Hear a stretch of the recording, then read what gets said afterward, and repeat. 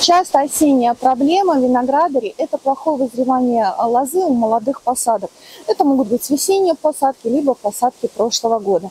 И этот год, конечно же, не исключение. И также частая рекомендация просто взять такой саженец, выкопать и поместить в подвал.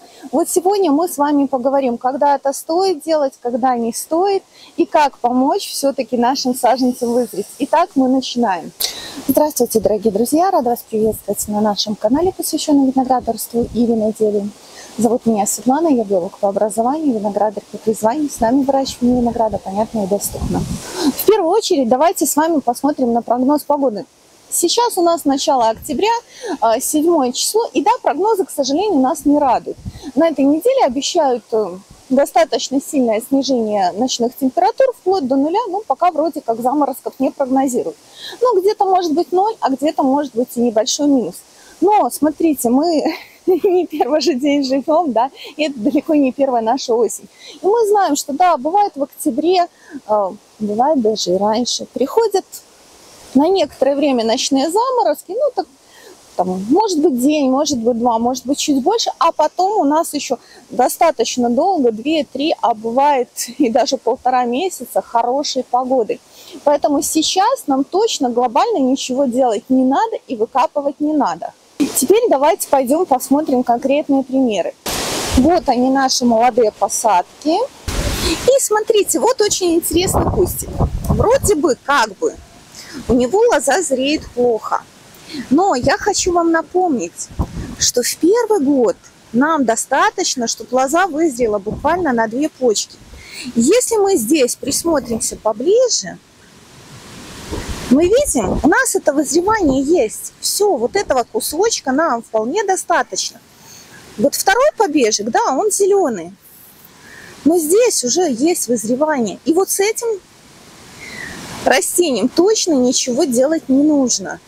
Смотрим следующий. Вот тоже, видите, вот здесь, на этом побежике, ну, лоза зреет, да, но она еще желтоватая. Конечно, если а, морозик будет достаточно низко от почвы, может прихватить. Ну, посмотрите, вот здесь у нас есть вызревшая. Поэтому беспокоиться, ну, не имеет смысла. Вот здесь такая же картинка. Здесь и не на две, здесь на три, на четыре почки вызрела. Да, вот. Я покажу его полностью, он маленький совсем. Но лоза вызрела, ничего делать не нужно. Но теперь буду показывать на примере этого. Вот один побег у нас вызрел. Видите, сегодня сумасшедший ветер, сумасшедшая погода. Ну, в каких условиях есть, в таких и снимаем. Да, вот этот побег, с ним все хорошо. Но вот этот, он у нас не совсем дозревший. Хотя вот там в почве там вызревание есть. Но если вы волнуетесь, если вы переживаете, видите, что идут заморозки, первое, что можно сделать, это немножко подокучить а, ваши растения. Вот здесь он у нас ровненько сидит с уровнем земли.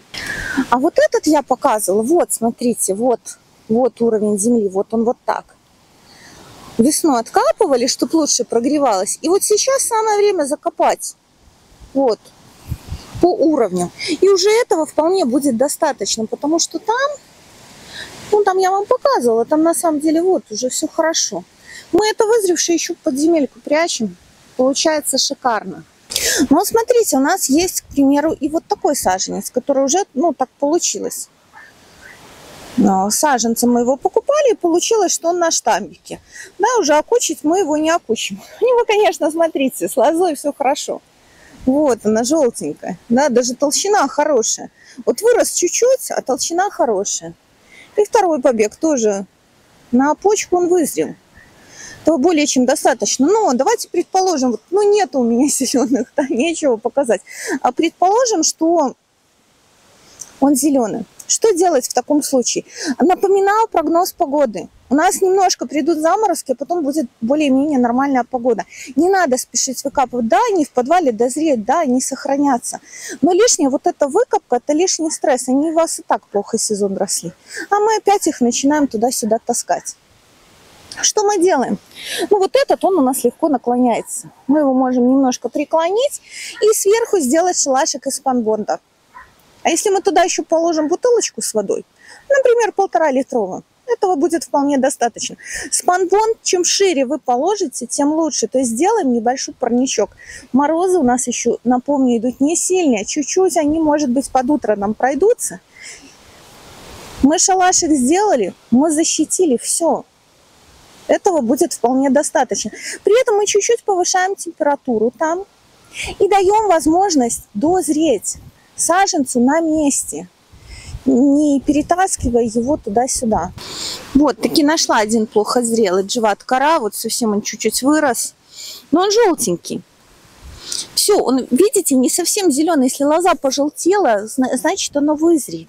Просто чуть-чуть. Вот если понимаем, что с погодой будет не очень. Все, накрыли вот. Вот так вот, если мы сделаем. Сантиметров на 50 такой парничок. А если еще, повторю, бутылку с водой полуторалитровую туда положите, а лучше две, то все будет замечательно. То есть пока что сильно волноваться не стоит. Выкапывать их, перетаскивать. Выкопать вы всегда успеете. Вот, если они будут вот такие совсем-совсем зеленые к моменту наступления морозов, да, вот такие надо выкапывать.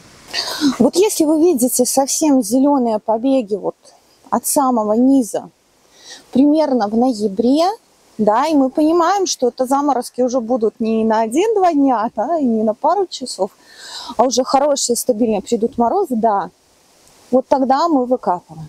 А пока что не спешим. И еще, стоит ли сейчас заниматься калийными обработками, поможет ли это? Смотрите, если температура ниже 10 градусов, а, растение уже не может нормально функционировать. Для него это биологический ноль. Поэтому то, что вы сейчас будете пырскать, то, что вы сейчас будете поливать, это все ну, абсолютно бесполезно. И этого делать не стоит. И смотрите, еще какой нюанс. Тоже вот у нас стояла теплая-теплая-теплая погода, да, тут резко похолодало. И для вот этих малышей это тоже стресс. А когда они в стрессе, они будут вызревать лозу. Поэтому набираемся терпения, все у нас должно вызреть, все у нас должно быть хорошо. При необходимости защищаем. Ну, а я с вами прощаюсь. Большое спасибо за просмотр. Подписывайтесь, ставьте лайки, пишите комментарии под видео, нажав кнопку еще, ссылка на каталог наших сортов винограда и наши контакты. И до новых встреч!